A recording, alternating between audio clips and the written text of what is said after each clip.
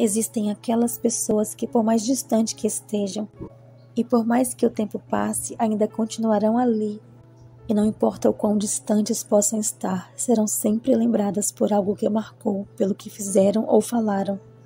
Algumas pelo sorriso que nos arrancaram ou nos ofereceram, outras pela forma doce de ensinar, algumas pelas lágrimas que nos arrancaram ou pela forma sublime e ao mesmo tempo arrebatadora que nos tocaram alguns pelos conselhos que nos deram, outros pelo abraço apertado, alguns por tirarem nossos pés do chão, outros por simplesmente colocá-los.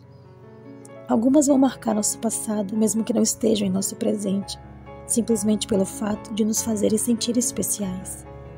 É isso. As pessoas são lembradas pelos sentimentos que despertam em nós, um pedacinho aqui, outro ali, e a gente vai absorvendo e quando vemos, nos tornamos pessoas melhores, simplesmente porque passaram pessoas assim em nossa vida.